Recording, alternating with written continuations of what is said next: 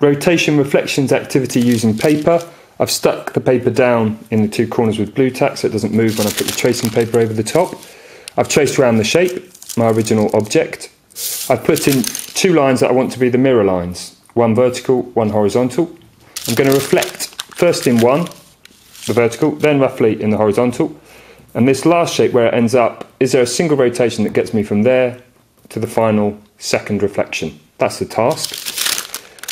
I find it helps using Blu Tack because it can be a bit fiddly. It's not essential, but it's helpful. So I'm going to put two bits of Blu Tack along the reflection line, tracing paper over the top, line up the shape that's as covered as well as possible, and then stick down to the Blu Tack. Nails are helpful for that.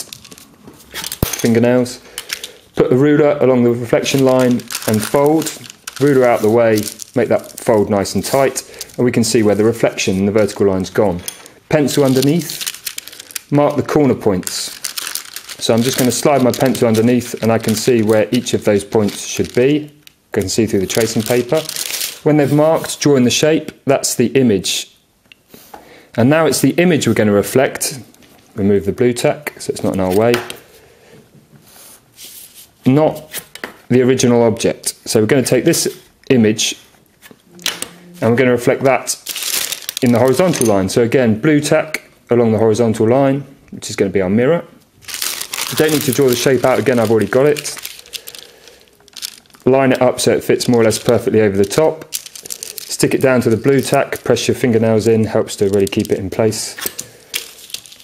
Ruler along the mirror line, fold over, ruler out the way, really crease that down to finish it off make sure it's along the mirror line. Great, now we can see where that second image ends up. Lift up the paper, mark each of the corners like we did before. And then it's just join the dots.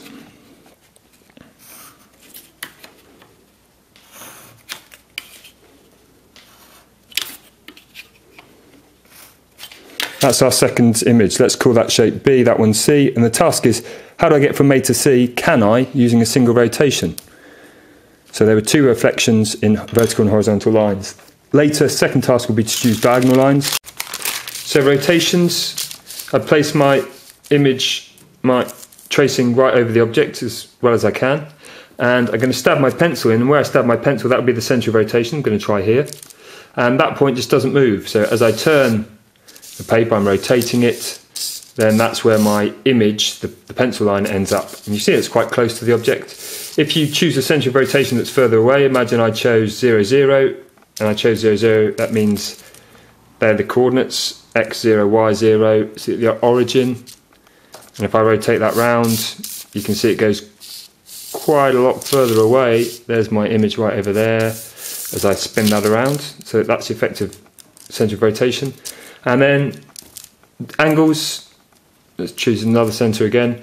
There's a vertical crease, or we can see this horizontal crease here, let's use that. When it goes to a vertical crease, that means I must have turned 90 degrees. When it comes back horizontal again, I must have turned 180. And when that crease ends up back at the vertical, it's 270. And then at horizontal where we started off, that must be 360 all the way around. Rotation. For some of these, you might find it's not multiples of 90 degrees, the rotation. Often you'll find that maybe. So I'm going to use this as my center of rotation. And I would give that a coordinate 2 on the x-axis, 2 on the y-axis. So how do we do it if it's not 90 degrees? Well, if I just rotate that, I don't know, what, to about here. Going to lift up the corners each time, maybe that was a perfect place. Mark the points, Going to join up those dots.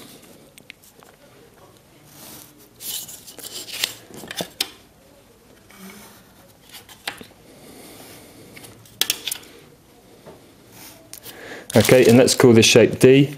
How would I work out what the angle of rotation is there? Well, this point here, let's call that point P, is the same as center of rotation rotate this point on that rotated shape. So I'm going to call that P dash. You'll often see P dash, P double dash. So I need to draw from my center to that point a straight line. Let's take a red so we can really see that. And then I'm going to do the same to the new point, P dash, another red line.